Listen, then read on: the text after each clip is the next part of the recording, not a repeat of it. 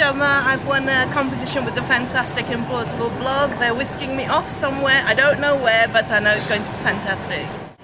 We're at St. Pancras International outside the Eurostar terminal. Let's head off. The best way to start the day is in the Eurostar Premier Lounge. And the eating begins.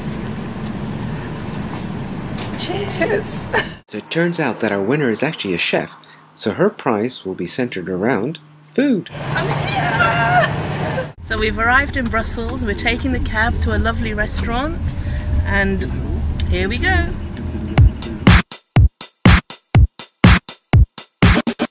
Enjoying a beautiful fresh fruit cocktail in this wonderful garden with an absolutely beautiful waterfall behind us. For over 25 years, La Truffe Noire has been offering Belgian diners with the best combinations of truffle infused cuisine.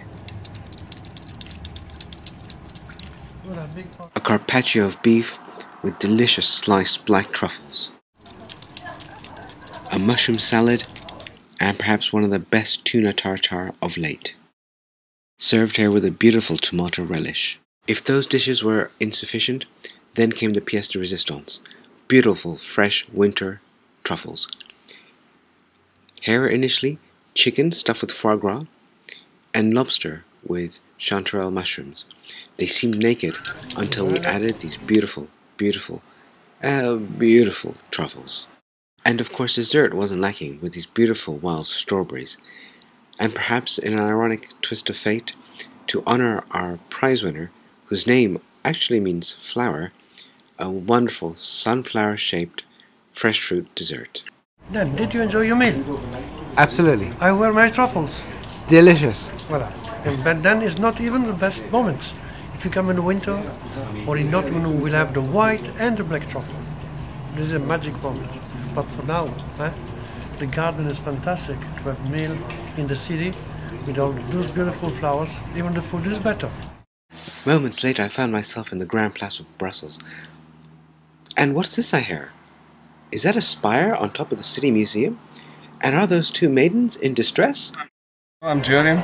I'm the guardian of the museum, but I'm locked up. Oh no, calamity! Who's going to rescue the maidens? Ladies, I understand there is somebody up here who needs rescuing. I'm at the Grand Place in a beautiful museum sitting in the spire.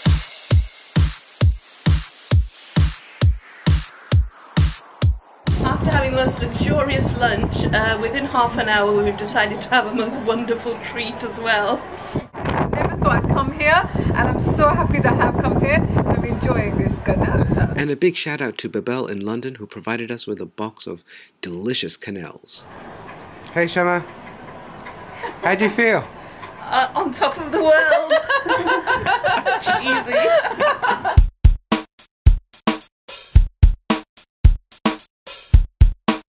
Behind me is the museum where we were earlier looking down from the spire. From down here in the plaza, it looks absolutely magnificent. And of course, no trip to Brussels would ever be complete without a trip to the various chocolate stores.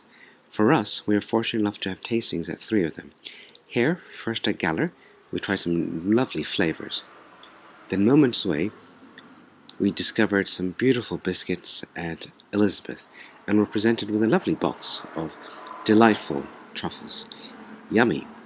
And in the beautiful, beautiful Royal Arcade, just moments from the Grand Place, we found ourselves in one of the oldest chocolatiers in Brussels, Neuhaus. A whole host of beautiful chocolates, milk and dark. Yummy. So this is the end of my fantastic day in Brussels. We've spent our time eating, shopping, sightseeing and being gifted beautiful chocolates. Please do share the pictures and the videos and you too could possibly win a trip somewhere. Find us on Twitter, Instagram, on our main website, or also on our Facebook page. And don't forget to like and share for your chance to win next year.